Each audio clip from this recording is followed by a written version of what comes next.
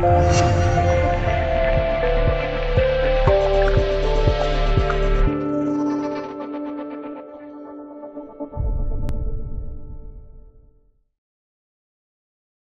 几十年来，我国经济、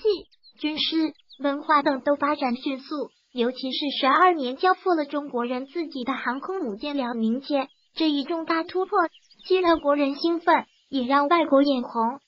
但是也有美中不足之处，那时航母的螺旋桨依然来自于外国人的手笔，中国还没有能力造出可以推动几十吨的航母在海面上航行的螺旋桨。对巨大的航母。自然需要型号巨大的螺旋桨，而且对材料也有严格要求。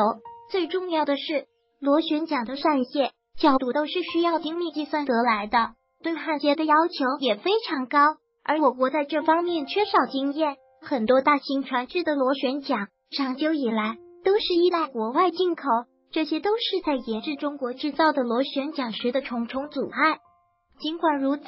我国的一些专家。一直在不断探索和总结经验，直到近几年，我国终于完全克服了上述重重困难，成功让辽宁舰更换上了我国自主研发的超大螺旋桨，填补了大型船舶制造业螺旋桨的空白。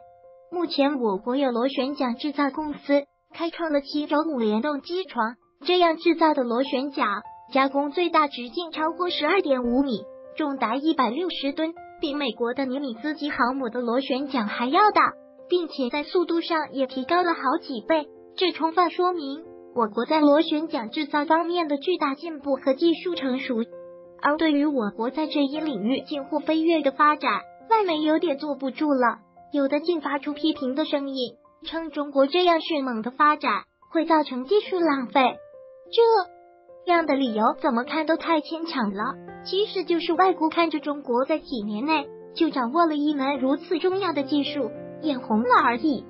而这也让国人认清了一个事实，那就是高精尖的技术一定要掌握在自己手中，只有这样才不会显得被动，才会有话语权。